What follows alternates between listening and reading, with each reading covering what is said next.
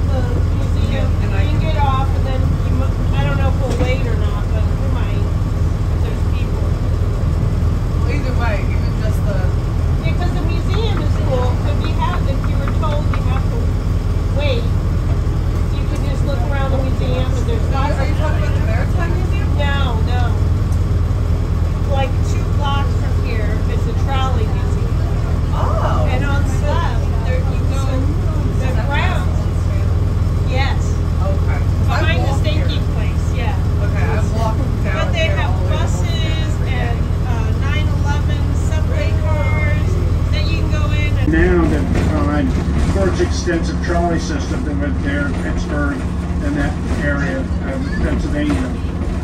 Um, it served Johnstown until approximately 1950, at which point it was sold to the Stone Mountain Memorial in, uh, outside of Atlanta, Georgia.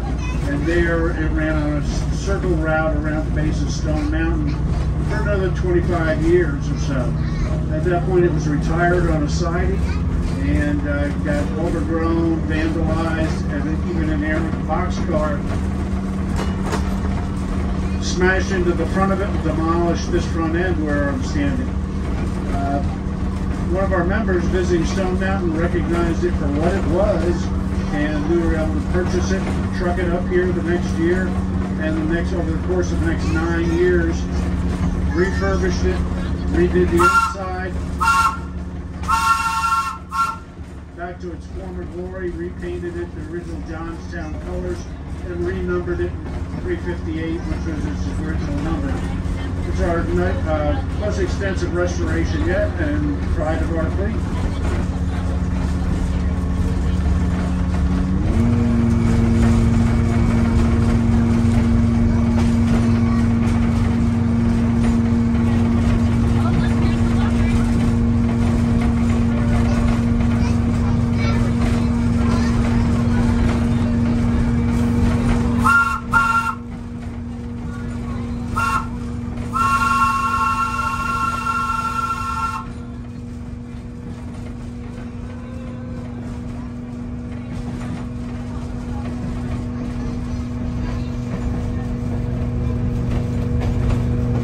We'll be coming up to a siding that we're in the process of refurbishing. This will allow us to run two cars at once on the track and pass each other at this point.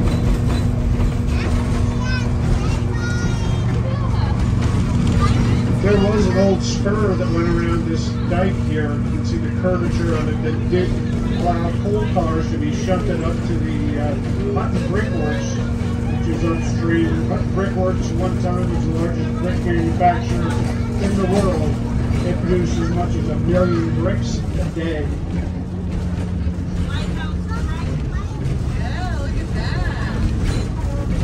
To your right, you'll see the uh, Rondout Light, Rondout Creek Lighthouse, confluence with the Hudson.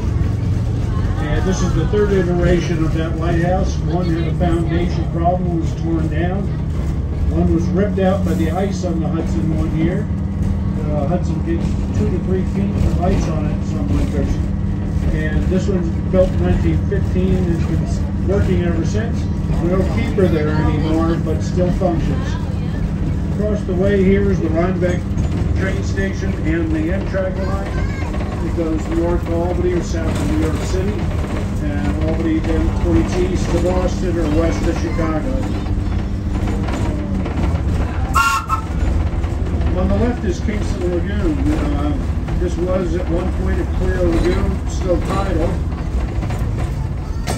But some invasive species, the lilies and the phragmites, have begun to enter here and take over. At low tide, which unfortunately is not now, you can see the keel of an old boat model of the Clermont, the old uh, steamboat Clermont, which was here as part of the entertainment for the amusement park.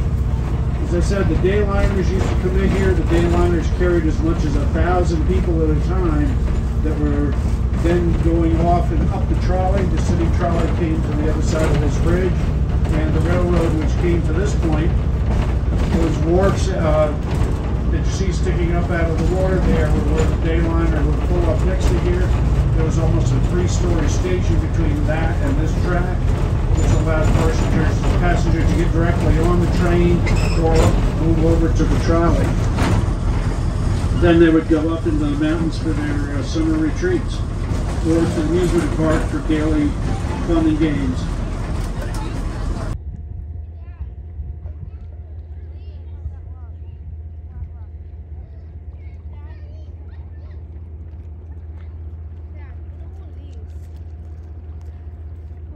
These?